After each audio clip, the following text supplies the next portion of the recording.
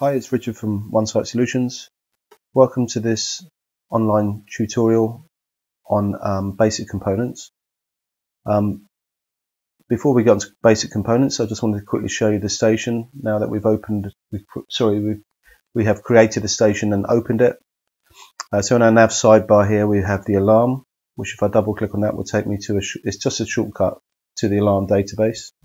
Nothing more than that. This is uh, new with N4, only came out on N4 um, config, which is really where we're going to do most of our work. Create um, drivers you know, where we're interfacing BACnet, Modbus, whatever uh, here. Services, apps, which was for the old um, mobile apps. Um, and files, which is uh, a holding area really of um, all the files we're going to be using, whether it's files I've put there or we've put there. Could be sound files, uh, image files, PNGs, etc or it could be files that um, the station has created and put there as well. And then you have hierarchy and history. These are both viewing areas predominantly um, where we want to look at our histories. By default under histories, you have the audit history and the log history anyway. Um, and also the hierarchy is a, a, dynamic navigation area once we, but they have to be set up first. And we'll be talking about that in another video. So these two areas really are just viewing areas. Also on the history, there are different views if you right click on it for your database maintenance, etc. Um, so anyway, um, we're gonna, I'm just going to create a new folder underneath my config. So I've just right clicked on the config folder. I've gone to new and then there's an option there for a new folder. So I'm going to select that. Okay, it's my playground area. If I double click on that, it will take me to the top view of that folder, that type of component. Um, if I look at my top right, these, this is my different views I can have of that component. So by default, it's gone to my wire sheet view, which is at the top of the list. Okay, and you've also got PX property sheets, sorry, AX property sheets, property sheet. This is an HTML5 page. This is the anything with the AX in front of it is a, a Java uh, view of that object. Okay, so this is my um, wire sheet. So if I want to add a point to my wire sheet, I can just, um, there are a few things you can do from the right click menu by default. Uh, so if I say new, um, and then I can add one of these objects. So boolean writable, numeric writable, enum writable, and a string writable. They're there by default. Um, so I'm just going to add a boolean writable. So I can give this a new name.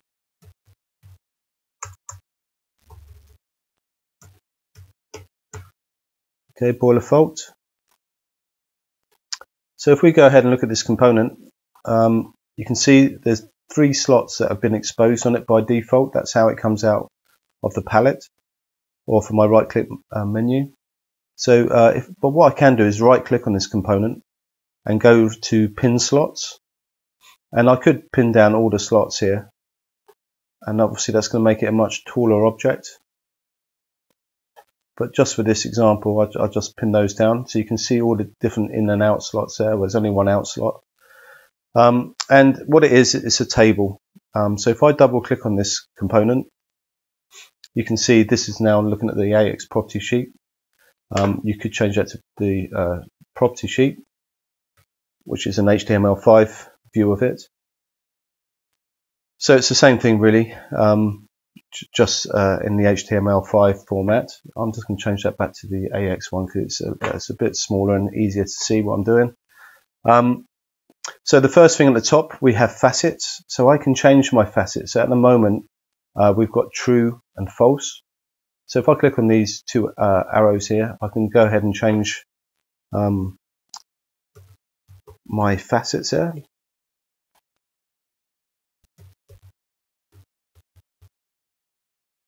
And uh, this here is a memory. So this is a memory. Uh, once we've started setting any up, I'll be able to click on that and it will it will remember that I've used these facets, fault and history. So uh, in future, I could just click on that and it would save me a bit of time.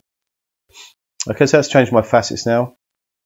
Um, I still have uh, nothing in my um, any of my in slots, so my out slot is still saying null.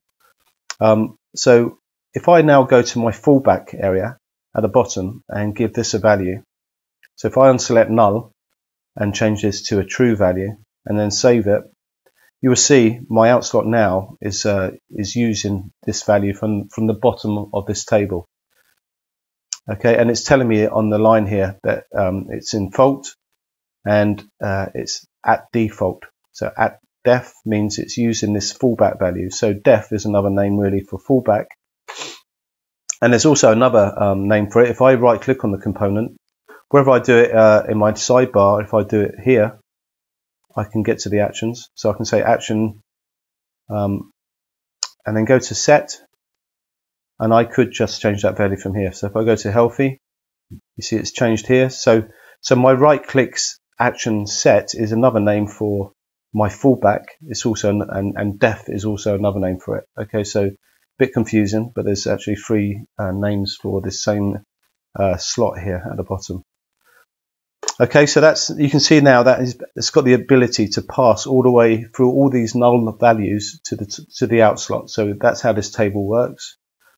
Um, so I could go to another slot here. So if I went to 13 and change this to um, a true, which would be my uh, fault status if I refresh that. And you can see now this uh, table is now saying it's using in slot 13. Um, if I look at in slot 13, I've got a fault value there and it's overriding this value because it's higher in the table and, and, and it's able to pass through all these null values.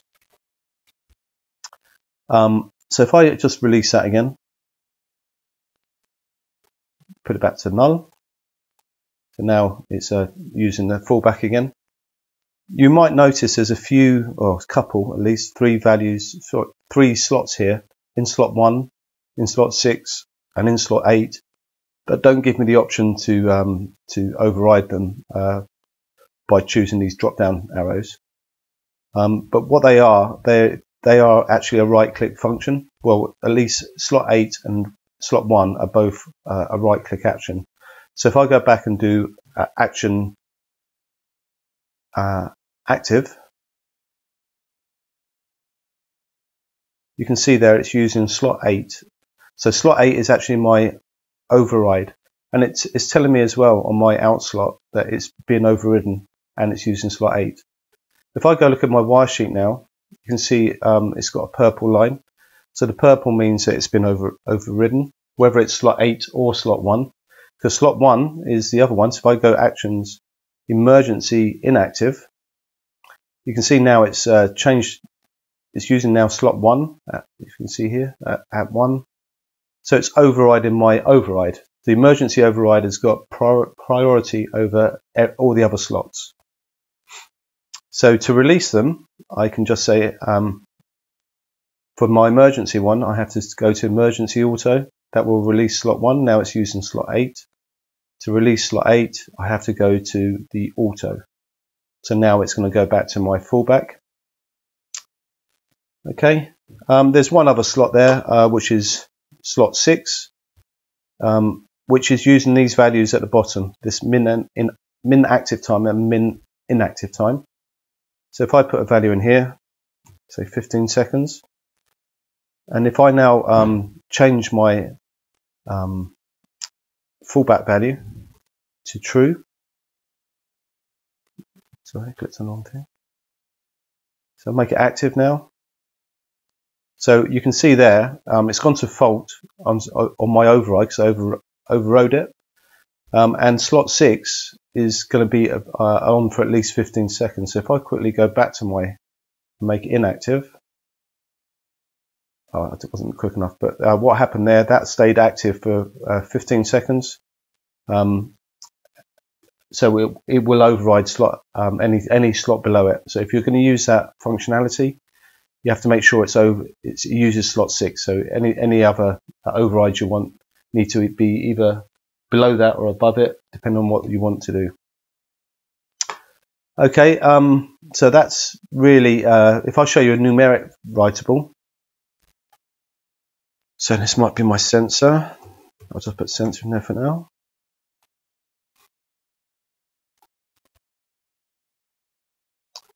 Um, if I double click on it, you can see it's very similar. The only difference really is it doesn't have at the bottom those inactive and active times. To, uh, so slot 6 is available to be able to link into. um, or, or change from here. But apart from that, it's very similar. Um, the facets obviously will be different. Um, and now when we left click on this, uh, this double arrow, we get this config facets box up, which is looking for a unit. If I click on these three dots, I can now choose what kind of units I want to use on this object. So temperature, and then I can choose Celsius on there. And this is my precision. This is how many um, decimal points there be. And if I wanted to use this as a set point or something, I could clamp my min and maximum values as well. Um, I'll just say OK there. So you can see now it's using degree C. Um, but I haven't got any values in there. So my right click on the on the component, I can go to actions and go to my set and give this a value now. So it's using 21 degrees C.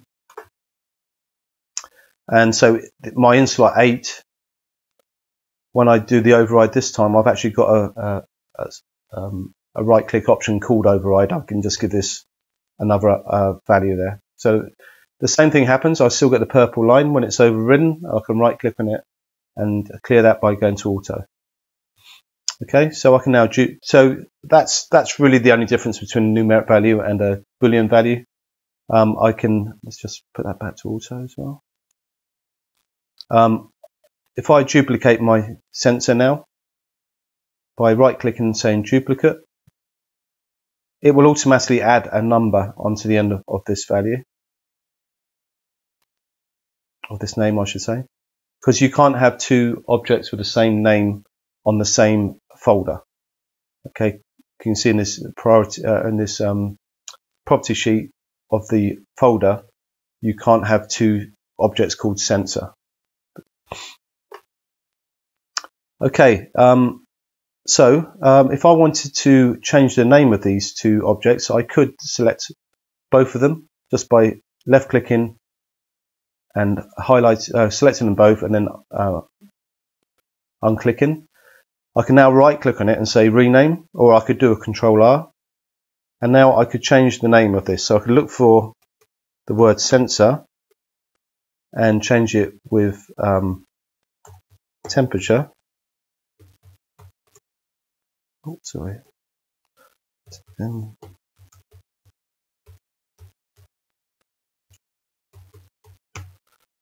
And you can see the results here. So this is the old value, and I'm going to replace it with temperature sensor 1.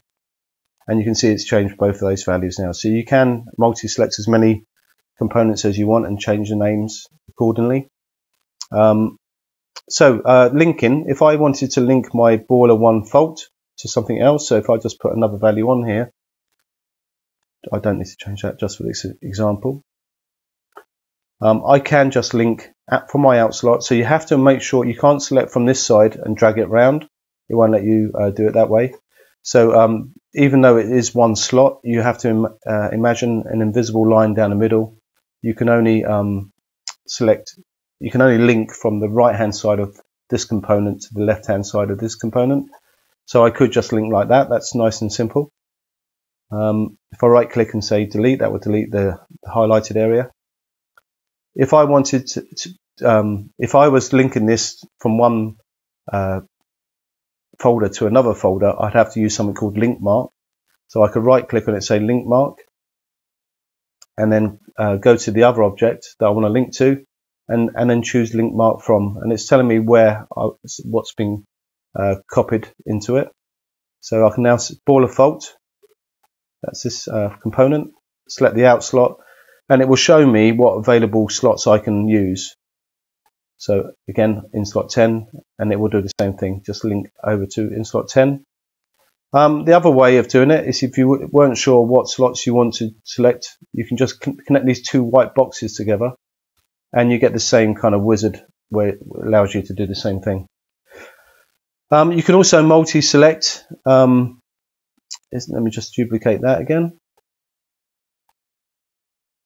So if I wanted to multi-link, I could um, I could select both of these now and say link from. I can still select boiler fault is still in its memory, so I can just say link from boiler fault, um, and again select what slots to link, and it's selected both of these this time. Okay, so uh, the other thing was uh, paste special. So if if I didn't want to use duplicate, if I had say five of these to do, I could do a copy. So I'll copy this component and use paste special. Um, and now I can say how many more I want to add. So I'd add another four. If I wanted to keep the links, I could, and relations as well. And you can see now it's linked to all these points as well. And um, as you can see, it's also renamed them all as well, just by adding a number onto the end. So a nice quick way of um, duplicating, if you like. Um, so uh, just to show you an, an, object from the palette also. Um, so to open, if we wanted to get to uh, some control components or logic components, etc., um, you need to open a palette. So to open a palette, um, you can click on this sidebar, go to the sidebar options, and select palette. Okay, so this is my palette area, and if I click on open palette, or this little folder here, there's uh, quite a lot of options here to choose from. Um, we're going to be looking at one called kit control. So if I type in the filter kit, you can see all my kit um, palettes here. I'm going to use one called kit control. So some of these are for um, wire sheets and some are working on a canvas, which is where we do our graphics. And you can see now um, I've got an option of different folders here. So I want, to, I want to add an average module to work out the average, average of these two components here. Let me just change that one to a different value so you can see it is working. Okay, so to so it's obviously going to be a math object, um, and I'm looking for average. So to add the average, I just drag it on and let, release it onto the wire sheet. I don't double click it. If I double click on it, it will take me to the property sheet of that object there. Okay, so now I can now link these two to the average. And you can see that's working, 23 degrees. Um, if I wanted to, if I looked at this average module and I wanted to use the same facets, I can now use my history and go to the last facet that I chose, which is degree C. And You can see that's nice and quick now. I don't have to go and, and select it again. Okay, so that's really it for this um, this lab. Uh, so I hope you've enjoyed it. Um, subscribe at the bottom if you have, and don't forget to visit us on our website as well. Um, and see you soon.